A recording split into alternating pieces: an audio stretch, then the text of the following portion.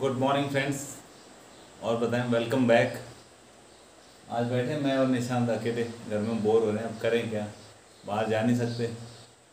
देख रहे हैं टीवी कर रहे हैं टाइम पास निशांत देखो आप एकदम डल हो रहा है आज। कुछ है इन लॉकडाउन में करने के लिए और क्या करें फिर? अब यार क्या करें? तो अब देखना सब पड़ता है। वही अब देखते हैं। आज वैसे मौसम अच्छा है। थोड़ी सी बारिश हुई थी सुबह और अब और हो सकता है।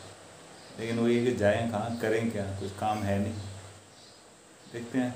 मैं तो बोल रहा था कि भैया, आज गाड़ी साफ़ कर ले। गाड़ी बहुत ख़राब हो रही है।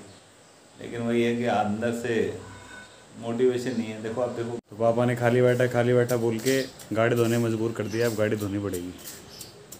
कल तो बहुत ही गंदी हो रही थी गाड़ी, आज लेकिन रात को बारिश आई थी तो लगभग साफ़ हो गई लेकिन थोड़ी बहुत जो बची है, वो मैं करूँगा। मुझे गाड़ी पे लगा के आप ये पौधे खोन लग गए यहाँ पे अब।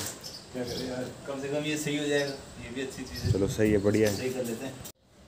ये भी बोर ही हो रहा है हमारी तरह। देखो ये ये हमारे को देख रहे हैं उम्मीदों मरी नज़रों से। निकल ले जाए कुछ नहीं मिलेगा भाई अब चलो।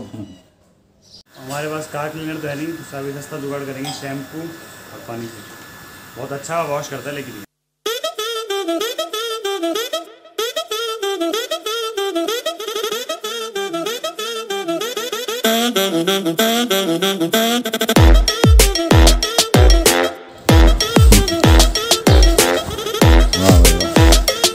खूब इंटरेस्ट आ रहा है निशान को देखो स्माइलिंग फेस के साथ आदमी काम कर रहा है मतलब वो उसको लाइक कर रहा है उसको। ये देखो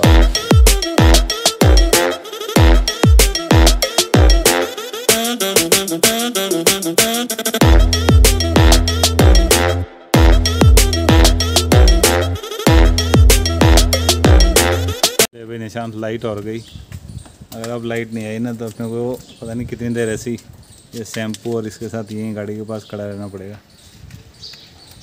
ये ऊपर अभी छत पे आए थे तो पास वाले घर की छत पे पता नहीं किसी ने पानी भरा हुआ है कोई ब्लॉकेज है?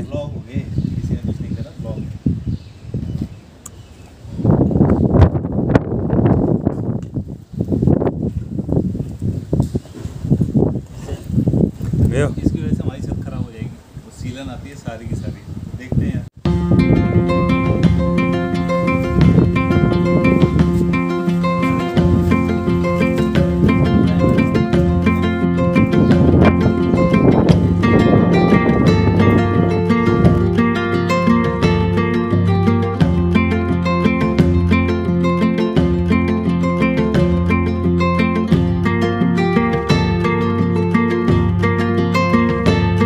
Guys, our channel has got more than 1k views.